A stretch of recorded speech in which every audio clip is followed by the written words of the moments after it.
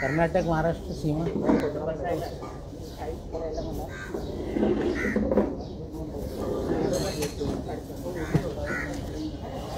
ये मेरे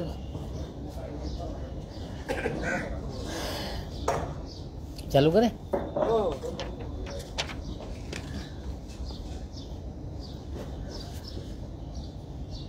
साथियों कल शहर में आप लोगों के साथ दो लोगों ने प्रेस कॉन्फ्रेंस करके कुछ चीज़ों पे बातें आपके सामने रखी। पहले, देश के एससी कमीशन के डेप्यूटी चेयरमैन अरुण हल्दर जी ने मीडिया से बात की। परसों उन्होंने कहा था कि समीर दाऊद वानखेड़े ने कोई भी धर्म परिवर्तन नहीं किया। चौंकाने वाली बात है कि एक वैधानिक पद पर बैठा हुआ व्यक्ति जिसके ऊपर सवाल खड़े हो रहे हैं कि मुस्लिम होते हुए फर्जीवाड़ा करके फर्जी दस्तावेज़ पर शेड्यूल कास्ट का सर्टिफिकेट बना के सरकारी नौकरी हासिल करने का काम किया। अरुण हल्दर जी, एक वैधानिक पद पे बैठकर उस व्यक्ति के घर जाते हैं जिसके ऊपर शक की सुई है। उनके घर पे जाकर कागजात उलट पुलट कर देखते हैं। और क्लीन चिट दे देते हैं कि दस्तावेज़ सही है। उसके बाद देश के सोशल जस्टिस राज्य मंत्री, जिनके पास सोशल जस्टिस विभाग की ज़िम्मेदारी है, जिनका काम है जो देश में उदित करते हैं और जिसने फर्जीवाड़ा करके सर्टिफिकेट लिया, उसका समर्थन करते हैं, ये दुर्भाग्यपूर्ण है। अरुण हल्दर जी भारतीय जनता पार्टी के नेता होंगे, लेकिन उन्हें समझना पड़ेगा कि एससी कमीशन की क्या ज़िम्मेदारी है, क्या दायित्व है? उसकी कार्य प्रणाली क्या है? जिस पद पर वो बैठे हैं, उनका आचरण कैसा होना चाहिए? हमें लगता है सारी मर्यादाओं को वो लांग रहे हैं। जनरली होता है कि कोई व्यक्ति उस पर अन्याय हो तो वो अपनी शिकायत कमीशन के पास दर्ज कराए। और कमीशन उस पर जानकारी जुटाए और उसके बाद रिपोर्ट तैयार करके जाँच करनी है तो किसी भी व्यक्ति को, संस्था को, अपने जो उन्हें सिविल कोर्ट के अधिकार हैं उसमें संबंध करके उसकी सुनवाई कर सकते हैं और अपनी रिपोर्ट विस्तृत रूप से तैयारी कर, तैयार करके वो सोशल जस्टिस डिपार्टमेंट को भेज देते हैं और सिफारिश करते हैं कि क्या सरकार करे। और पार्लियामेंट के पटल पर वो रिपोर्ट रखी जाती है, ये कार्यशैली और कार्यप्रणाली है। जहाँ तक किसी का सर्टिफिकेट फर्जी है, उसे जांचने का, उसे प्रमाणित करने का अधिकार शेड्यूल कास्ट कमीशन को नहीं है। देश में के रामास्वामी जो सुप्रीम कोर्ट के जज थे, उन्नीस सौ चौरानबे में उन्होंने एक ऑर्डर पास किया। जब देश में फर्जी सर्टिफिकेट की बाढ़ आ गई तो उन्होंने एक आदेश पारित किया कि देश में, हर ज़िले में जो सर्टिफिकेट फर्जी हैं, उनकी जाँच करने के लिए एक कमेटी का गठन किया जाए। उस कमेटी की अध्यक्षता ज्वाइंट सेक्रेटरी लेवल के ज्वाइंट सेक्रेटरी या उस लेवल का अधिकारी उसकी अध्यक्षता करे। उसमें सोशल जस्टिस डिपार्टमेंट का जो डायरेक्टरेट है उसका एक अधिकारी हो, पुलिस का एक अधिकारी हो, और जो भी शिकायत आए उस शिकायत को कौशी जुडिशियल अधिकार, उन्हें न्यायालय के अधिकार दिए गए। वो न्यायालय के अधिकार के तहत सारी जाँच प्रक्रिया को करें और उसके बाद उसमें निर्णय लें। अगर वो निर्णय किसी को मंजूर नहीं तो सीधे वो हाईकोर्ट में अपील में जा सकता है। हाईकोर्ट का निर्णय उसे मंजूर नहीं तो सुप्रीम कोर्ट तक जा सकता है। लेकिन एससी कमीशन को ये सारे अधिकार नहीं है, ये लोगों को समझना पड़ेगा। अरुण हल्दर जी का व्यवहार किया और वहाँ पे मीडिया से संवाद करना, मीडिया के ज़रिए पूरे चित्रीकरण कराना, हमें लगता है ये बहुत सारे सवाल खड़ा कर रहा है। इतनी जल्दबाजी उनको क्या है? क्यों इस तरह का आचरण वो अपना दिखा रहे हैं? क्या एक संवैधानिक पद पे, वैधानिक पद पे बैठा हुआ व्यक्ति इस तरह के आचरण रख सकता है? ये सारी चीज़ों का हम देश के राष्ट्रपति को शिकायत करेंगे। सोशल जस्टिस मंत्री को भी शिकायत करेंगे कि जिस पद पे आपने व्यक्ति को बिठाया, वो जो कौशी जुडिशियल अधिकार है किसी संस्था का, जिसे सुप्रीम कोर्ट के आदेश पे बनाया गया उन अधिकारों को अपने अधिकार में ले रहा है, इससे बड़ा ब्रिज कुछ हो नहीं सकता। हम राष्ट्रपति महोदय को ये सारी घटना की कंप्लेंट करेंगे। साथ ही साथ सोशल जस्टिस मिनिस्टर को लिखेंगे और मांग करेंगे इस आचरण, इस घटनाक्रम की जाँच हो कि उनका मोटिव क्या था। क्यों इतना वो ममत भाव एक व्यक्ति को दिखा रहे थे जिसने फर्जीवाड़ा करके सर्टिफिकेट लिया। देश में एक होनहार दलित बच्चे के अधिकारों को छीना। और ये भी मुझे धमकी उन्होंने दी है कि ज़्यादा बोलेंगे तो एट्रॉसिटी एक्ट के अंदर कार्रवाई करके जेल में डाल देंगे। हमें लगता है कुछ ज़्यादा वे बोलते हैं। सवाल खड़ा है कि जो व्यक्ति दलित ही नहीं, उसको लेके आप डराने का मुझे काम करते हैं? हमें लगता है कि हमारा भी राजनीतिक अनुभव है।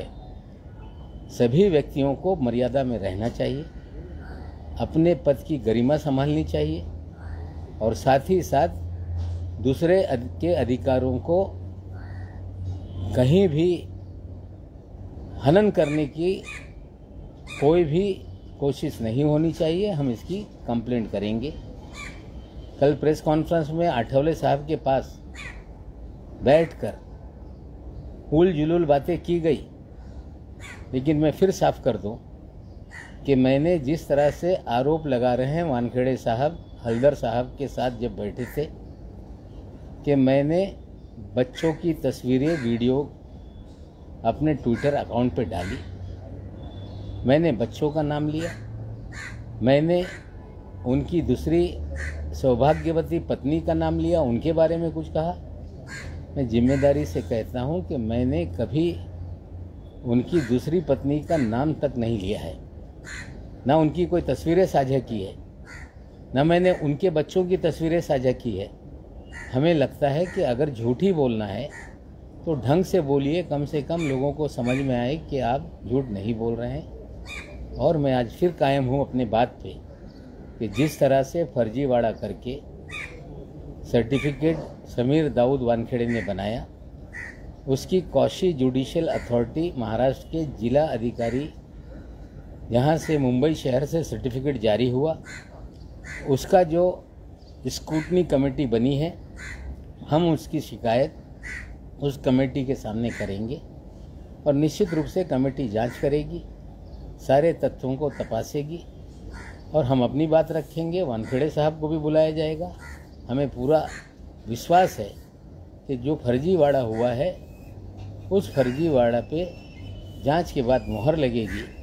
और एक बार मोहर लग गई कि सर्टिफिकेट जाली है तो उसी कानून में ये स्पष्ट है कि सर्टिफिकेट के आधार पे जो भी फ़ायदे लिए गए, चाहे वो नौकरी हो, एडमिशन हो, या और भी कोई चुनाव हो, वो सारे तात्काल रूप से रद्द किए जाते हैं। जो भी लाभ लिया होगा, वो वसूल किया जाता है और उसी के तहत प्रोविज़न है। कि फौजदारी मुकदमा करके दो साल से सात साल तक की सज़ा होती है। हम इस मामले को जो भी फोरम है, हमारा वैलिडिटी कमेटी जिसे जात पड़ताड़नी समिति महाराष्ट्र में कहते हैं, वहाँ पे ये मामला ले जाएँगे। साथियों, और एक विषय बहुत गंभीर है। पिछले नौ महीने से, जब से हमारे दामाद को नाजायज़ तरीके से फंसाया गया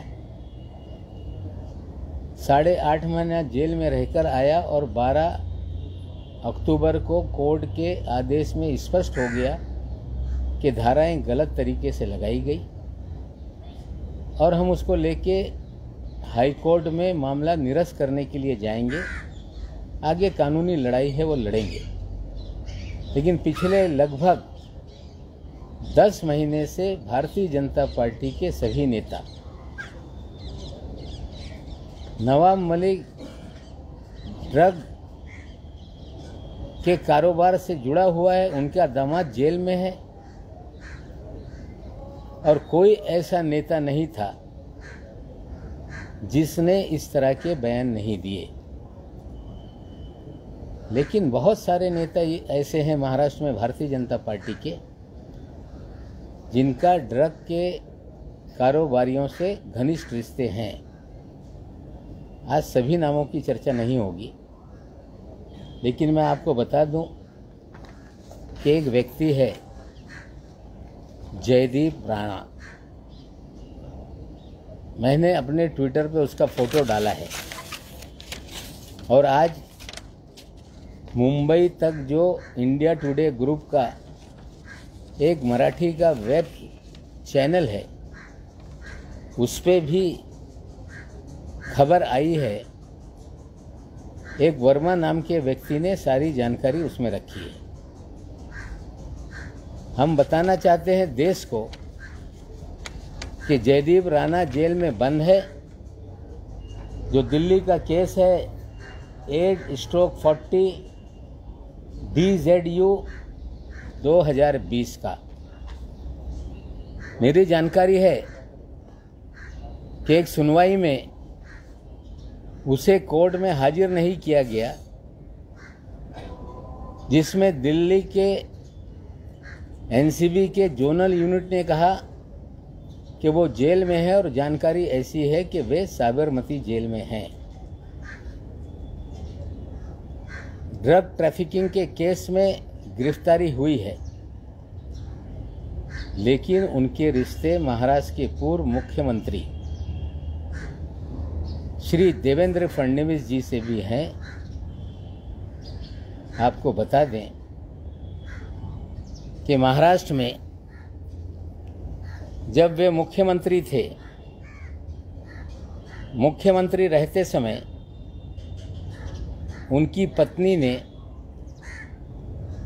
एक रिवर सॉन्ग, चल चल मूवी मुंबई नदी संरक्षण अभियान के नाम से एक रिवर सॉन्ग बनाया था। उसमें सोनू निगम जी ने गाना गाया था और देवेंद्र जी की पत्नी ने भी गाना गाया था। उसमें देवेंद्र फडणवीस जी ने भी अभिनय किया था और साथ में मोंगंटीवार जी ने भी अभिनय किया था। मैं थोड़ा आपको दिखा देता हूँ और बाद में आपसे शेयर कर लूँगा।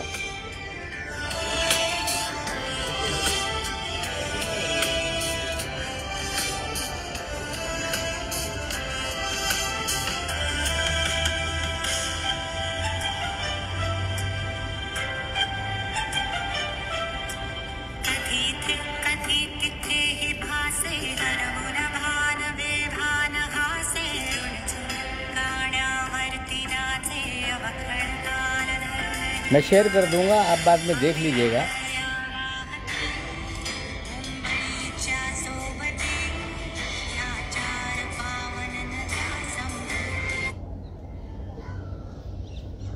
गाना गाती हैं, अच्छी बात है। नदियों को लेकर गाना गाएँ, अच्छी बात है। सोनू निगम जी के साथ अभिनय करें, अच्छी बात है। देवेंद्र जी अभिनेता बन जाएँ, अच्छी बात है। मोंगन टिवार जी अभिनेता बन जाए, अच्छी बात है। डायरेक्टर उसके सचिन गुप्ता थे। Singer Amrita Fadnavis and Sonu Nigam. उसको म्यूज़िक दिया था, जो गाना लिखा था, वो अभिजीत जोशी जी ने। क्रिएटिव हेड उसके मनीष खानका थे। और उसके फाइनेंस हेड जयदीप राणा जी थे। ये कह देना कि सार्वजनिक जीवन में कौन किसके साथ तस्वीरें खींच लेता है हमें पता नहीं। तस्वीर तो ऐसी है कि एक दूसरे को तुम शैतान हो, तुम शैतान हो, इस तरह की तस्वीर है। मैंने पूछा, ये निशान क्या होता है? मेरे बच्चों ने कहा कि यू आर एविल अब कौन शैतान है मुझे पता नहीं। लेकिन ये शैतान जो नशे का कारोबारी है ड्रग पेडलर है,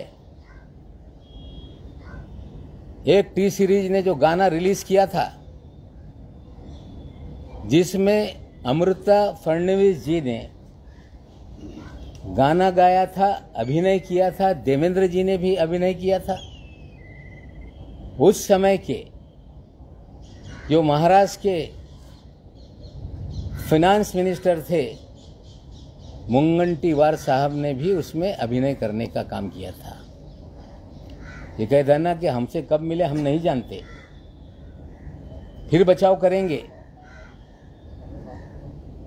कि मुझे मालूम नहीं था ये कौन आदमी फाइनेंशियल हेड बन गया। लेकिन देवेंद्र जी के, जयदीप राणा के रिश्ते बहुत घनिष्ठ थे। एक तस्वीर और डालता हूँ। कि गणपति देवेंद्र जी के घर पे है या जयदीप राणा के घर पे, मुझे पता नहीं।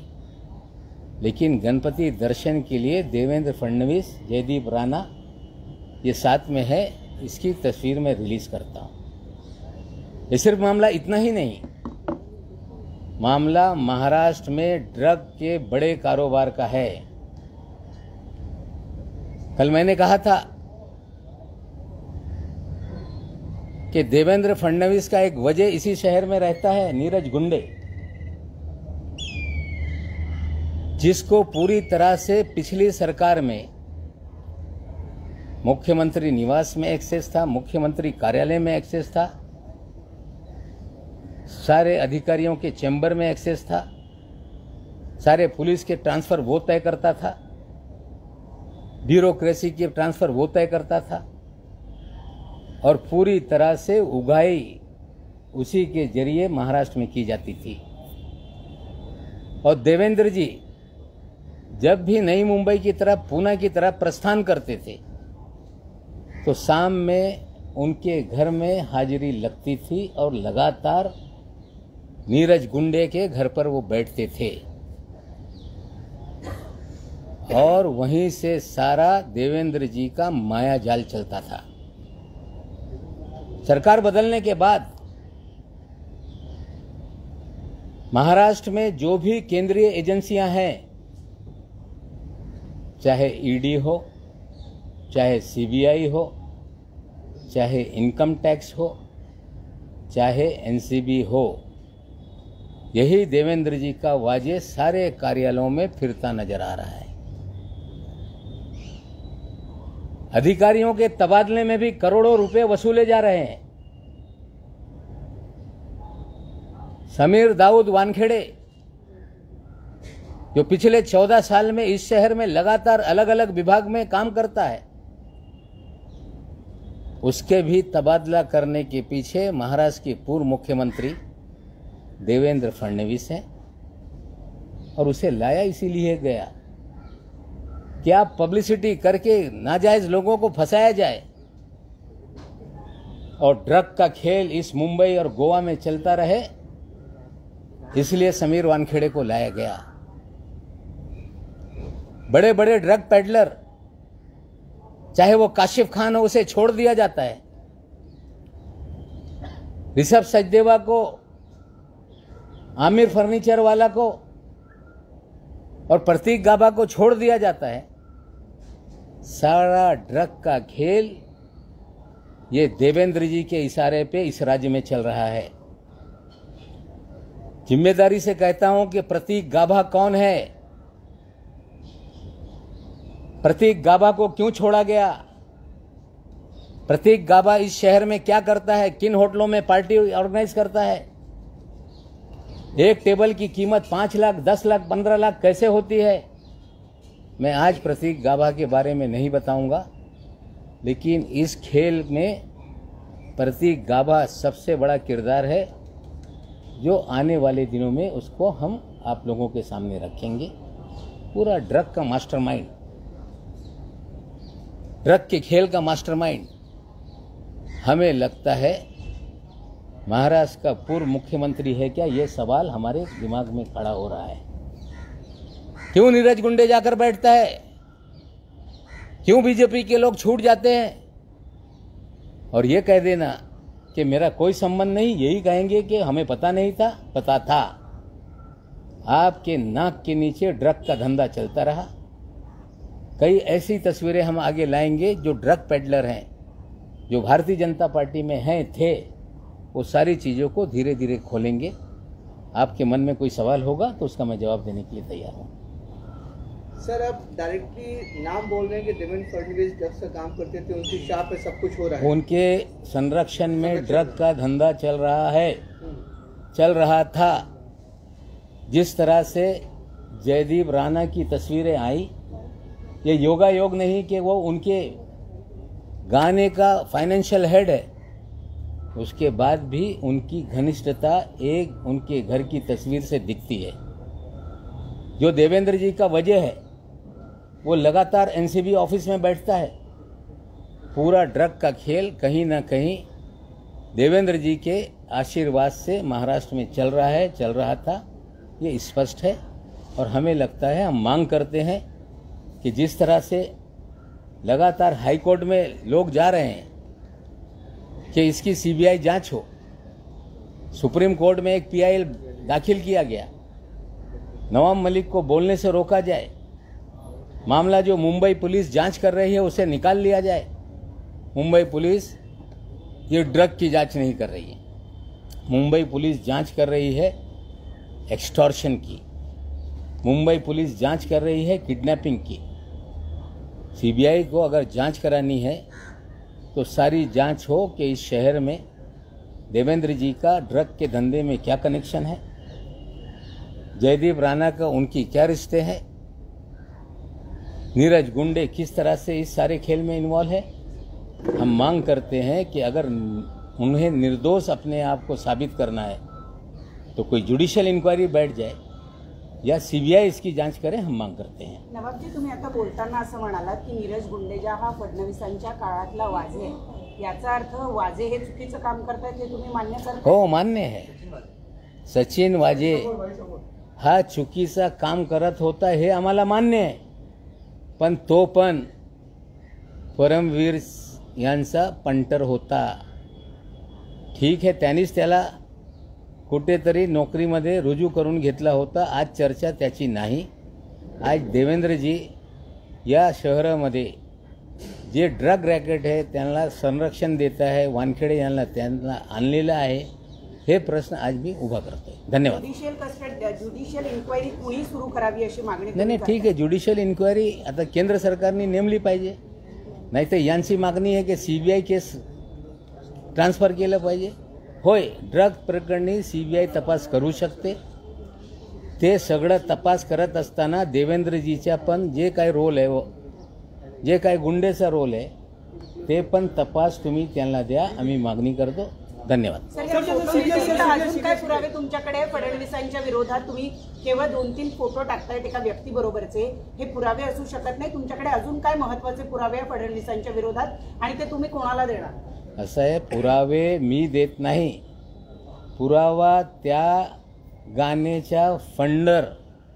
हा जयदीप राय आहे. जर तुमच्या एका फिल्मच्या फंडर हा ड्रग पॅडलर असेल याच्यापेक्षा जास्त पुराव्याची गरज नाही.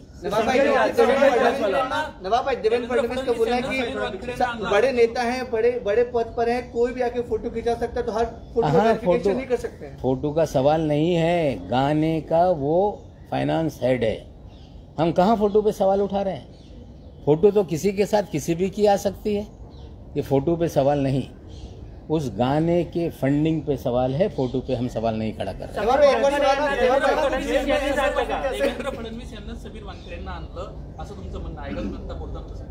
त्यांनी निश्चित रूपाने त्यांनी अर्ज केला त्याची बदली करण्यात आली. येऊन महाराष्ट्राला बदनाम करायचा आघाडी सरकारला बदनाम करायचा फिल्मवाल्याला कुठेतरी टार्गेट करून पब्लिसिटी घ्यायची. आणि हे पब्लिसिटी होत असताना जे मोठे मोठे ड्रग माफिया आहेत त्यांना संरक्षण द्यायचं आहे.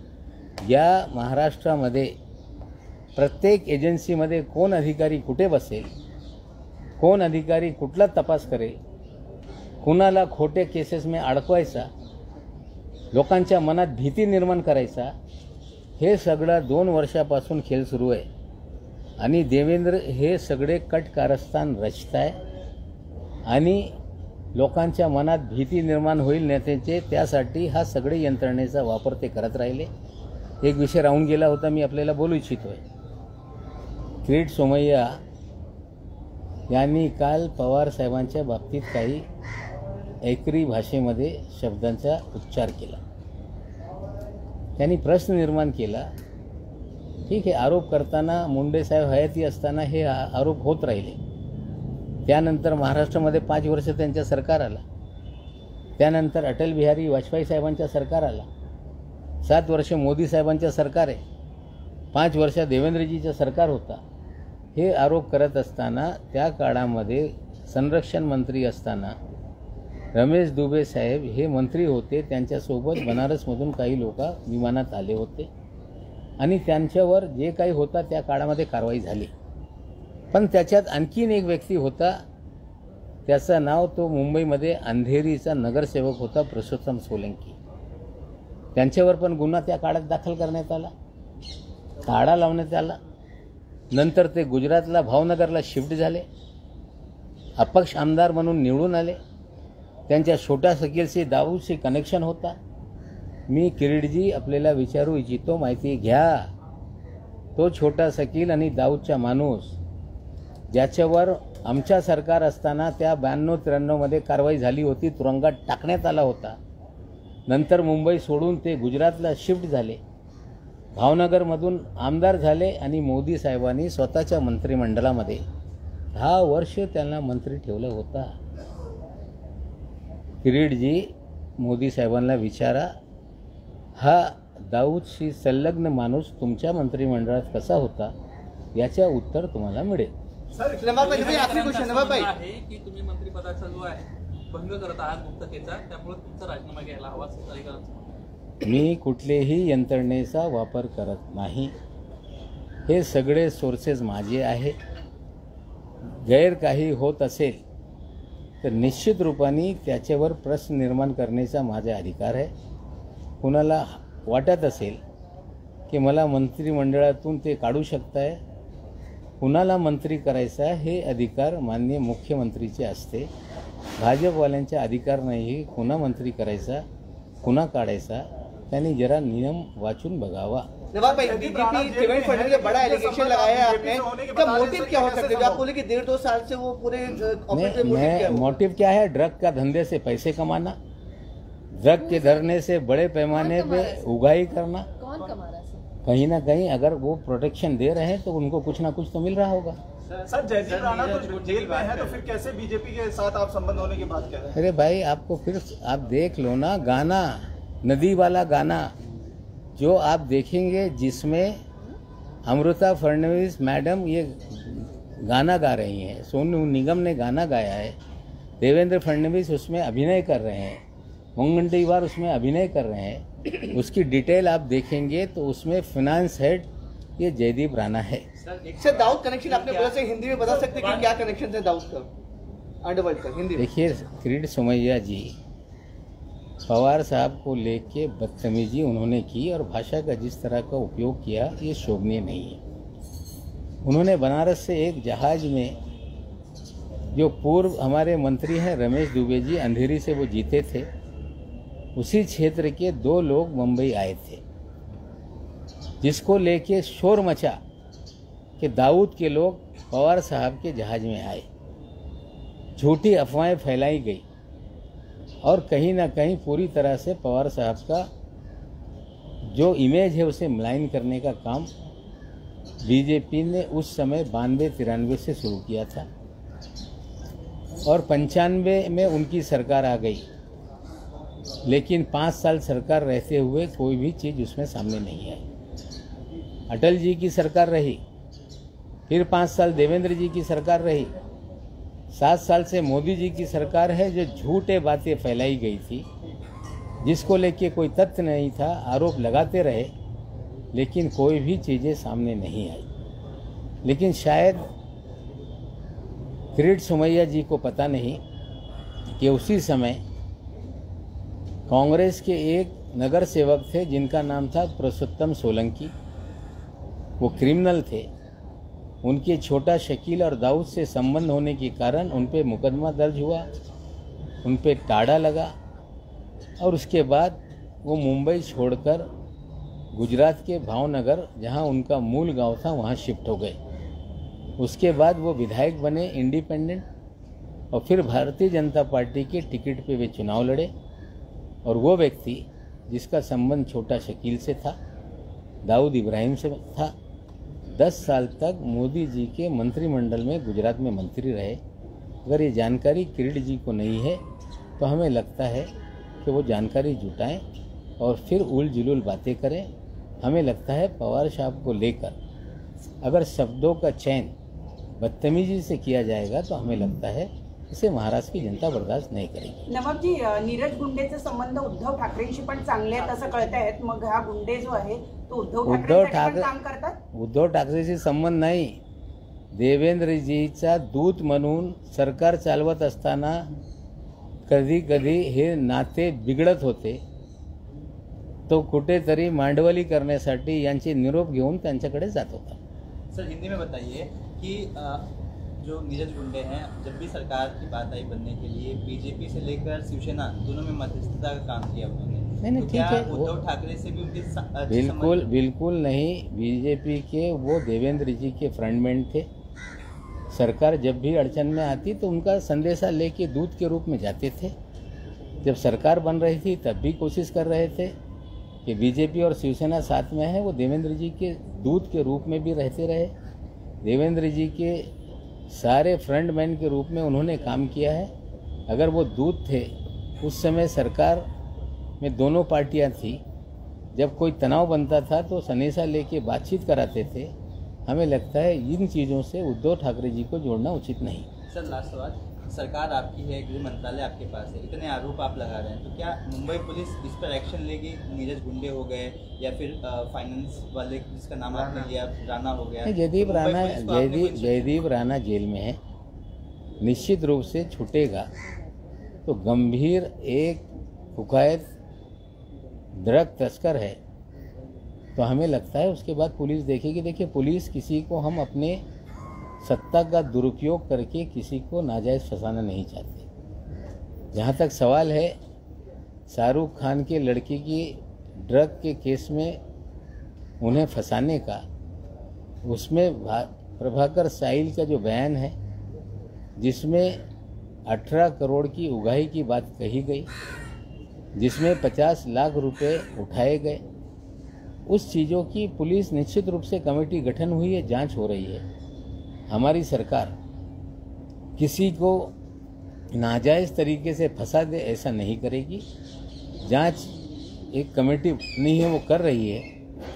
अगर सच्चाई उसमें सामने आएगी, प्रभाकर सहल के बयान में जाँच में कोई तथ्य सामने आएगा तो निश्चित रूप से कार्रवाई होगी। लेकिन द्वेष भावना से सरकार हमारी कोई काम नहीं करती। जिस तरह से सरकारी तंत्र का गलत इस्तेमाल बीजेपी कर रही है हम लोग हमारे सरकारी तंत्र का गलत इस्तेमाल नहीं करेंगे। राज्य. सरकारला सांगणार नाही का तुम्ही वेगवेगळ्या गोष्टी करण्यासाठी? आता तुमच्याकडे एवढे जर पुरावे तर देवेंद्र फडणवीसांच्या विरोधात कारवाई करायला तुम्ही राज्य सरकारला सांगणार नाही. ना बघू ना आता हे सगळं समोर येत आहे. निश्चित रूपाने जे जे गंभीर जयदीप राणा तो आता तुरुंगात आहे. बाहेर आल्यानंतर निश्चित रूपाने त्यांच्या बाबतीत पण इन्क्वायरी करण्याच्या कारवाई निश्चित रूपाने आम्ही अर्ज करू की याला बोलवा. याच्याकडून माहिती घ्या. ड्रग्सचा जो धंदा मुंबईमध्ये महाराष्ट्रामध्ये सुरू आहे त्याच्यात कुणाकुणाचा काय रोल है याची माहिती निश्चित रूपाने पोलीस यंत्रणा घेईल. नवा भाई आपके ट्वीट के बाद बीजेपी नेता मोहित कंबोज ने ट्वीट कर दिया कि और आपको इशारों इशारों में कहते कि सलीम जावेद है बंटी बबली है डेली डेली नया नया सगुफा लेके आते हैं और प्रेस कॉन्फ्रेंस करते रहते हैं। हमें लगता है जिनका अपना किरदार डकैती का चोरी का फ्रॉड का है ऐसे लोगों को जवाब देना हमारे लिए बेहतर नहीं है। इस तरह के बहुत सारे लोग हैं उल जुलूल बातें करेंगे उल जुलूल बातों का जवाब देना ठीक नहीं। सर सौ करोड़ का डेफेमेशन में तो डाल दिया उन्होंने और एक और मालगांव में भी। ठीक है वो तो जो भी कानूनी कार्रवाई होगी उसके लिए हम तैयार हैं लड़ेंगे। एक नहीं हज़ार केस डाल दें। हम कहीं डरते हैं क्या किसी से?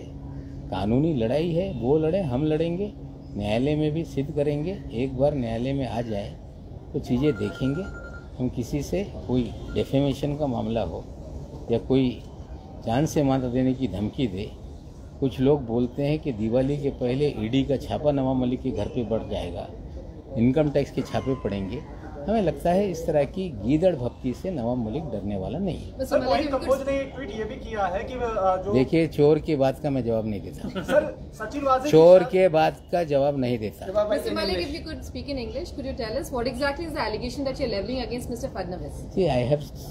Already a person name Jaideep Rana is in jail in a drug peddling case he has funded a song sung by Amrita Fadnavis ji, Sonu Nigam, and there was a role of Devendra Fadnavis ji and Munganti Varji also there. The Jaideep Rana was the financial head of that production.